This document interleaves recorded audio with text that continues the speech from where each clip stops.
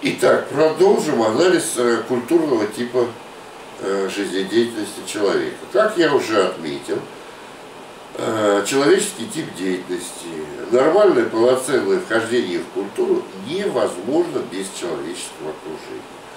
Строго говоря, ребенок для того, чтобы стать полноценным человеком с самого начала, после своего рождения, должен э, иметь общение с себе подобным. У него, он, собственно, и вектор развития ребенка направлен в сторону эмоционального общения э, с окружающим миром. Это может быть и родители, это может быть старшие братья, может быть даже домашние животные. Все живое вокруг это, это э, объекты общения с ребенком. Ребенок со всеми хочет завязать контакт. Он очень доброжелателен к окружающему миру. И он очень рад, когда знакомый взрослый вдруг приходит к нему, и он это выражает всяческими э, восторгами, то, что называется комплекс оживления. Первые два года жизни ребенка очень важны для образования аффективно-психологических связей, которая получила название привязанность или attachment по-английски. В зависимости от качества этих связей, от количества общения, которое уделяют взрослому ребенку, будет зависеть его здоровье и будет зависеть его психическое развитие. Правда, это не значит, что тот ребенок, которому мало – уделяли совсем внимания, немного, то он будет э, в 100% случаев хуже развиваться. Возможно, различные варианты, но все-таки в 90% из 100 чем наблюдается зависимость, чем больше внимания уделяешь ребенку, тем выше качество его психологического развития, тем меньше шансов получить депрессию уже взрослого возраста. Таким образом, вот этот момент, он очень важный, и вообще нужно о нем поразмышлять и подумать, и не всегда еще освоить современными науками о человеке, о поведении, что животное остается животным в ином окружении в, человек, в человеке, а человек все-таки, будучи сохранен чисто физически, скажем так, его кормят и поют, сохраняют ему жизнь, тем не менее, его основные способности не развиваются. То есть, если возвращаться к нашим понятиям, он не проходит путь социализации, как частью э, целостного процесса инкультурации. Но вот что интересно. Тем не менее, он приобретает некоторые, скажем так, навыки э, культуры в кавычках животного.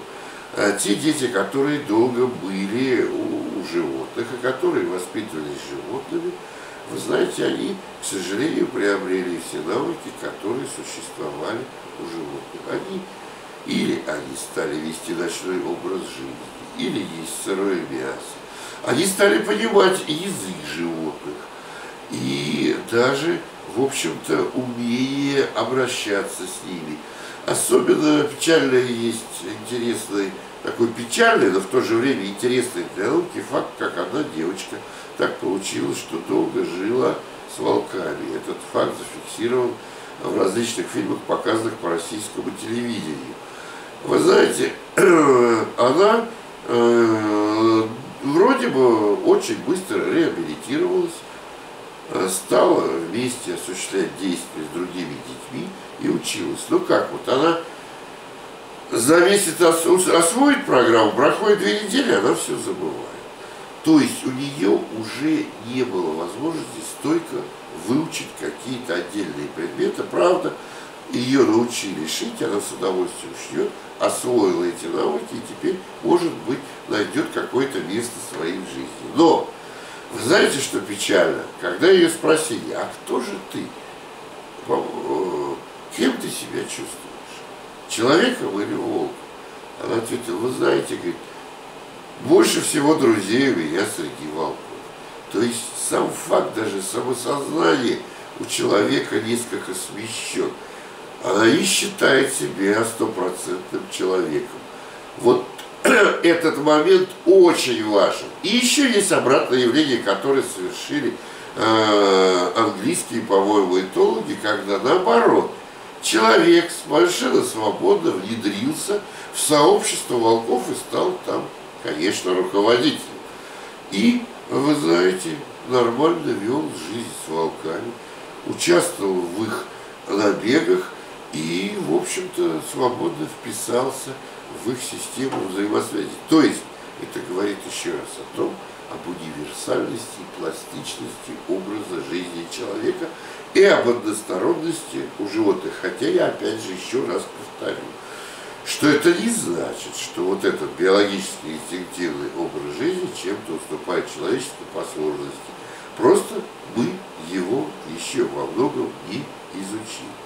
Но есть еще одна самая, может быть, важная черта э, э, культурного типа деятельности. Дело в том, что человек с самого своего рождения и с взрослением этих, факт, э, этих явлений становится больше, он общается, он взаимодействует не только с материальным вещественным миром, он общается с идеальными сущностями, с знаковыми, э, знаково-символическими такими явлениями, которым богат человеческий мир.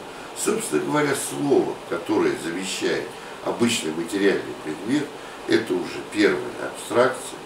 И, да, и вот ребенок еще только-только-только растет, овладевает языком, а, и где-нибудь в три года он уже понимает очень многое. И он спрашивает, папа, а ты сказал вот это слово в прямом смысле или в переносном? Он понимает сложность языка человека, он понимает уже, вернее, чувствует, скажем так, очень сложный мир культуры. И вообще здесь очень много сложного, э, поскольку мир культуры человека населен воображаемыми образами, многие которым нет реального коррелятора действительности. И это очень интересное явление. Но тем не менее, благодаря тому, что у ребенка э, образовалась э, психологически аффективная связь, привязанность а с реальными людьми, он точно так же реально реагирует на их эмоциональные копии, на их образы, которые он видит по телевизору, на их образы, которые создаются э, в книге, когда он ее читает. И поэтому э, вот этот образно-символический мир для человека и для ребенка в особенности играет такое же значение, как вещественно-материальный мир. И, собственно, действовать в этом сложном символическом мире, научиться действовать в сложном символическом мире, это важнейшая задача ребенка. И он вообще успешно ей овладевает в детстве. Когда? Это есть очень четкий, самый творческий период, от двух до семи лет. Это самый креативный, если можно сказать, период в жизни ребенка, когда он играет, когда он осваивает игры, когда он в этих играх, с одной стороны, готовится к будущему взрослому состоянию и копирует жизнь взрослых, игры драматизации. Но самое главное в этих играх драматизации происходит самое важное. Он посредством своего воображения создает иной мир – он трансформирует воображение реальные предметы. Палка у него превращается в лошадь. Ящик превращается в танк. Он искренне верит в это. А в песочнице он печет пирожки. И в то же время он понимает, что это воображаемый мир. И поэтому, когда глупые взрослые говорят, ну съешь эти пирожки, ребенок на них смотрит, как на убогого, который испортил все впечатление от его игры. И есть еще одна очень интересная и важная деталь, которая есть важнейшая для вообще и культурной антропологии, и культурологии. Это некоторые вопросы ребенка, очень интересные. А вопросы такого типа. Папа или мама, спрашивают. А Дед Мороз по-настоящему существует? Вот это вот кардинальный вопрос. Как ответить на него? Ну, конечно, если отмахнуться от ребенка и сказать, иди играй, не мешай мне. Но на самом-то деле сказать, что он настоящий, это было бы неверно. Но если сказать, что это глупость, выдумка, то уже неверно. Значит, каждый взрослый должен подумать, и как, как э, более правильно и тонко ответить на этот вопрос. С другой стороны, что ребенок не знает, что он не настоящий? Он прекрасно в это знает. Но тем не менее он верит, верит в этот образ. То есть вот эта коллизия очень сложная, которая проходит на протяжении всей жизни человека, когда он одновременно знает, что вроде это все воображение, а в то же время и верит, оно и определяет образ его действия, что он верит в воображаемые вещи. И, кстати говоря, очень важный феномен в связи с этим, что мы, э, когда мы смотрим хороший фильм или ну, который мы не видели, мы на какой-то момент полностью сопереживаем, так же, как и дети, происходящее. Мы начинаем совершенно верить в это происходящее. На этом основан действие на нас, воздействие многих пластов культуры, прежде всего со стороны искусства, когда достигается очень тонкий и сложный катарсический эффект. Ну вот мы условно освоили вот этот социальный культурный тип деятельности общечеловеческий, но реально-то он происходит в совершенно конкретных культурных условиях. И это тоже накладывает свой отпечаток. На что? На очень многие вещи. Ну, во-первых, когда мы становимся взрослыми. Ну, например, вот в племени Хадза, которые в основном занимаются охотой, любой муж, э, мужчина, э, существо мужского пола считается взрослым, когда он самостоятельно добудет на охоте э, животное средней величины. Если он его не добыл, он не считается взрослым, не имеет права взять жену.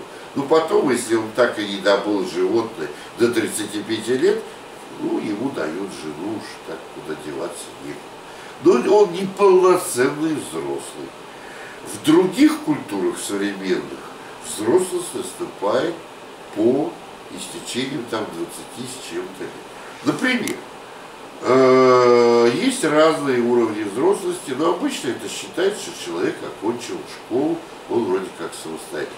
В Швеции, например, э, нет, э, даже до, в некоторых случаях только по окончании университета или высшего учебного заведения там прекращают платить детские деньги и тогда считается взрослым. Но самое главное, в общем-то, так или иначе, всякая культура воспитывает в себе деятеля будущего, человека, который может ее же развивать и воспроизводить. Э, она как бы вот этим сама себя сохраняет. Вы знаете, иногда, э, вот э, когда я читал или читаешь какие-то либо книжки, которые связаны с тем, что воспринимают культуру как живое существо, такая организмическая позиция. Знаете, как-то я всегда с недоверием относился к таким вещам, но иногда, тем не менее, когда внимательно изучаешь некоторые исторические ситуации, Прям невольно кажется, что это некое живое существо, культура в целом, которая защищает сама себя, которая как бы дает какие-то сигналы людям, что или она исчезнет, или надо э, э, осуществлять какие-то действия по ее защите.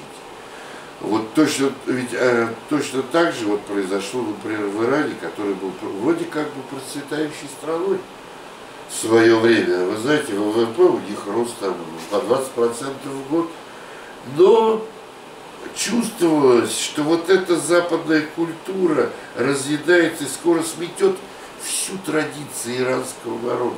А как говорил в свое время Малиновский, традиция это все равно, что плодородный слой. Срежь его, и останется пустота, пустыня.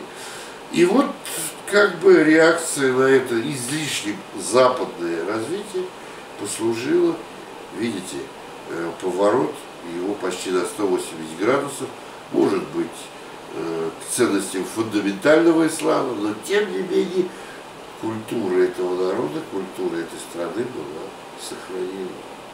Это вот интересное явление. Наверное, в истории можно было бы найти еще и другие примеры таких вещей. То есть культура вообще это какая-то интересная субстанция, которая, конечно, развивается только благодаря людям, но в то же время, видимо, и здесь есть какие-то тонкости, загадки, э, которых мы, наверное, не знаем. Итак, что мы выяснили? Мы выяснили, что культура имеет динамический характер, что в культуре обязательно э, комплекс особых исторических ценностей, что культура э, развивается благодаря и сохраняется процессу воспроизводства, который называется вхождением в культуру. И что это вхождение в культуру, инкультурация состоит, с одной стороны, из приобщения к культурному типу деятельности, а с другой стороны, из э, приобретения культурной специфики. Что можно еще сказать о культуре? Вы знаете, еще есть базовых два деления. Культура современная и традиционная. Очень коротко об этом. Что тут имеется в виду? А, что имеется в виду под этим делением? Имеется в виду, что есть, существует культура современная и индустриальная, которая более или менее одинаковая во всем мире. Но то, что в сельских районах разных, и в том числе даже очень развитых промышленных стран, сохранилась традиционная культура. Чем отличается традиционная культура от современной? Вы знаете, современная культура опирается в своей регуляции на кодифицированные записанные права, а традиционная культура, она регулируется традицией устной и иногда а, авторитет вождя. Современная культура, это культура, как правило, индустриальная, унифицированная, э, традиционная культура, как правило, культура специфическая, которая, если что-то и производит, кроме продуктов сельского хозяйства и сопутствующих ему производств, то она производит это поштучно, оригинально, в виде народных промыслов. А современная культура находится в имманентном кризисе с природно-экологическим кризисом. Традиционная культура, она, в общем-то, более-менее органично связана с природой. Но самое главное не это может быть. Самое главное, что современная культура – это культура анонимная. В ней все люди испытывают избыток э, недостаток коммуникации. Может быть, это с этим еще и связана такая популярность социальных сетей сейчас. В традиционной культуре это общество знакомых людей. Для того, чтобы пояснить, что это такое за общество знакомых людей, что это за культурное пространство, я приведу только один пример. Ну, по-моему, он очень такой репрезентативный. Что такое традиционная культура? Это вы берете и доезжаете до какой-то станции, где-нибудь 200 километров, 300 от Москвы. Сходите, садитесь э, на автобус и доезжаете до, э, до районного центра. Ну, какого-то небольшого городка. Это есть граница, где-то здесь пролегает граница между современным и традиционным обществом. Потом вы садитесь на автобус и едете уже какой-то населенный пункт, деревню или группу деревень. Вот вы проехали одну остановку, вторую, а на третьей входит человек в автобус и говорит вам всем «Здравствуйте!» Вы можете себе представить, что в Москве кто-то вошел в автобус и поздоровался со Его подумают каким-то немного ненормальным. Но тем не менее, вот так обстоит дело в обществе знакомых людей. Вы все отвечают «Здравствуйте». И вот вы попали на территорию знакомых людей. В этих местах каждый человек вроде бы как знает друг друга, хотя и он и не знает. Но все друг друга здороваются, все считаются знакомыми друг другу. То есть это некое противопоставление анонимного обществу. И действительно, вообще-то единицы жизнедеятельности в традиционном обществе, как правило, они не очень большие и предполагают визуальное знакомство. Причем вы знаете, это очень красиво, э, визуальный образ этого момента очень хорошо отражен в фильме «Данди». Когда Данди приезжает в город Нью-Йорк из своей деревни, где все друг друга знают, И вот огромная толпа народу, огромный поток индустриального центра. И Данте говорит, здравствуйте. Ну, правда, отвечает здравствуйте. Но все это кажется несколько смешным. Но на самом деле вот эта коммуникационная сплоченность людей, она очень важна и дает свои большие преимущества живущим в Что еще можно сказать о традиционном и современном обществе? Знаете, можно продолжать э, черты их рассказывать очень долго. Но я вам должен сказать, что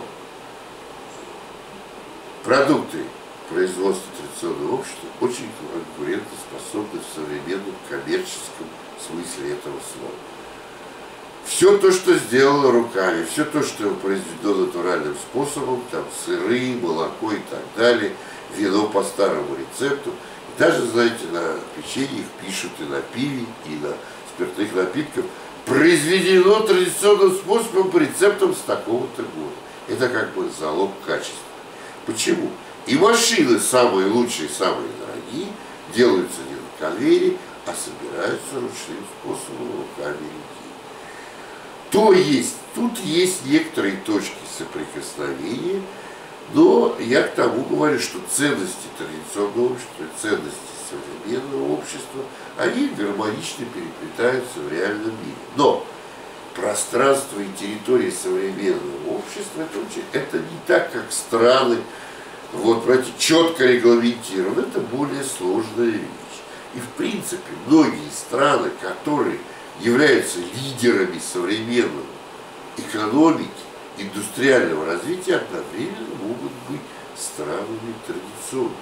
Самые два классических примера – это Англия и Япония. Это страны, которые очень много сохранили традиций в своем в, своем, в своих образах жизни и которые гордятся этим.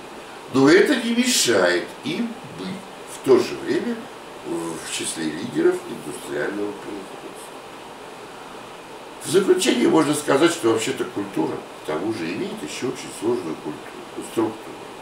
Ну, структура, которая была разработана в культурной антропологии, она предполагает подразделение всего и вся на два, на два уровня.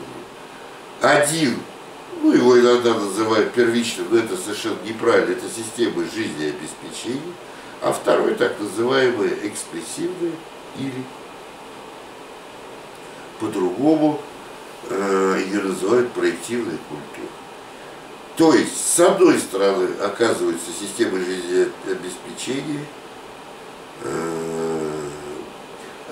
виды активности экономической населения. А с другой стороны, оказывается, серия очень интересных особенностей, которые, собственно, и придают э, культурное своеобразие. Это особенности ритуалов, игр, отдыха, религии, стиль мышления, э, виды ритуалов и так далее.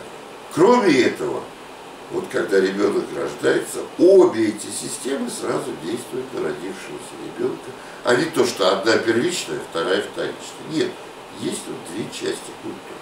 Кроме этого, культура вписана в очень сложное взаимодействие с природными условиями, которые тоже влияют на этот процесс вхождения в культуру и культурацию а от природных факторов зависит много, причем какие? Это климат, флора, фауна, наличие отсутствия природных ресурсов и еще экстремальных условий. Вообще-то, знаете, люди живут даже на озере Титикака на высоте 3800 метров и не чувствуют дискомфорта.